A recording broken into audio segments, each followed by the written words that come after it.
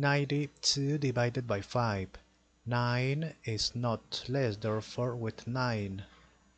5 multiplied by which number is nearest to 9 but not greater. 5 multiplied by 2 is 10. 10 is greater. Multiplied by 1 is 5. Is not greater. Okay.